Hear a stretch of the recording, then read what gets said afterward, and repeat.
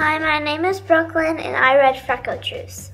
My favorite character in the story was Cher, Sharon because she always played tricks on Andrew.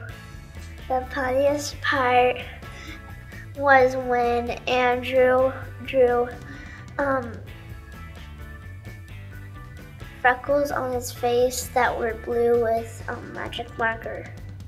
I think both boys and girls would like this story because um, even though they don't have freckles, that doesn't mean they aren't the same.